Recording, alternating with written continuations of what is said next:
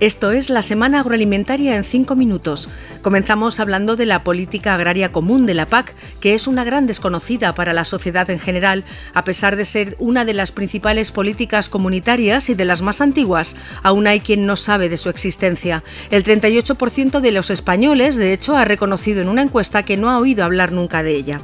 Contra ese desconocimiento se ha lanzado ahora una campaña de información destinada a todos los ciudadanos. El ministro de Agricultura, Pesca y Alimentación, Luis Planas, aseguró en su presentación que además es el momento oportuno para lanzarla. Yo creo que esta campaña es una campaña que es oportuna, que es pertinente y que es necesaria. Oportuna por el momento. Eh, estamos a punto de ser aprobado por, por parte de la Comisión Europea el nuevo Plan Estratégico Nacional. Empieza una nueva PAC 2023-2027. Y yo creo que es muy bueno que el conjunto de la sociedad a la cual va dirigida esta campaña comprenda por qué una política agrícola común comprenda también que la actividad agraria, ganadera, el medio rural merecen un apoyo público. La acción de promoción se desarrollará durante cuatro semanas y en ella se explicará la importancia de la PAC para la provisión de alimentos, el desarrollo de las zonas rurales y el impulso al relevo generacional. Se emitirá en medios digitales, televisión, publicidad exterior, radio y prensa y espera generar unos 700 millones de impactos. La PAC también ha sido noticia esta semana por el análisis a la que le ha sometido el Tribunal de Cuentas Europeo, que ha pedido a la Comisión Europea que sea más proactiva en su lucha contra el fraude que en ocasiones se produce en relación con las ayudas de esta política.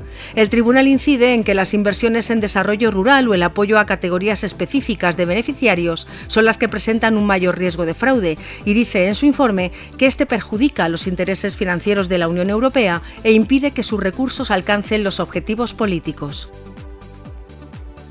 Esta semana hemos conocido que la aceitera de óleo, junto a IBM, ha preparado un nuevo sistema que a través de la tecnología blockchain permite trazar el camino del campo a la mesa del aceite de oliva. Se trata de reforzar la confianza y la información al consumidor. Con este mismo objetivo y para ganar adeptos en otros mercados como el americano, la aceitera se ha aliado con varias organizaciones estadounidenses para pedir cambios en las normativas de este país y que haya definiciones más claras de las categorías de aceite virgen extra, virgen, aceite de oliva y regulaciones de calidad para reforzar la información y la confianza al consumidor. Ha llegado el verano y con él las altas temperaturas, las vacaciones y los horarios reducidos, razones estructurales que convierten a los refrescos y las cervezas en las bebidas estrella de este momento del año, tanto para refrescarse como para acompañar los momentos de tiempo libre y de ocio con familia y amigos. Este verano, con el fin de las restricciones de la pandemia y las buenas previsiones de llegada de turistas, las perspectivas son óptimas para ambos sectores gracias a la recuperación del canal de la hostelería y la restauración, muy afectados en el último año por la COVID.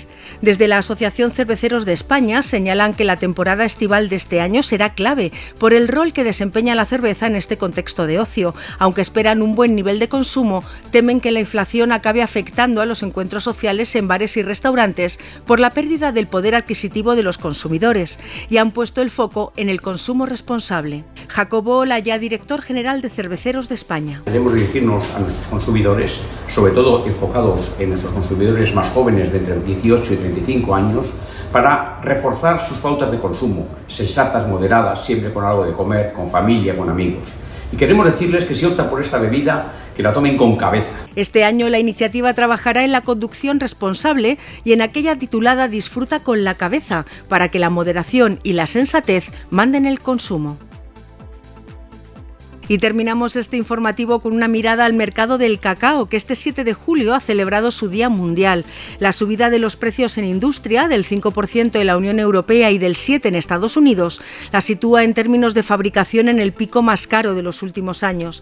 Las empresas creen que se reducirán los tamaños de las barras para mantener los precios, una situación a la que se puede sumar también que al caer el poder adquisitivo se reduzcan las compras de indulgencia. En clave nacional, el pasado ejercicio, España exportó casi 230.000 toneladas de cacao y sus preparaciones, pero importó casi 400.000 toneladas. Es un producto que además es desde 2018 el que más se vende con certificado de comercio justo. Supone ya más del 60% de las ventas de los artículos certificados por Fair Trade en España. Un ejemplo de cómo se puede conciliar producción con condiciones justas y consumo responsable.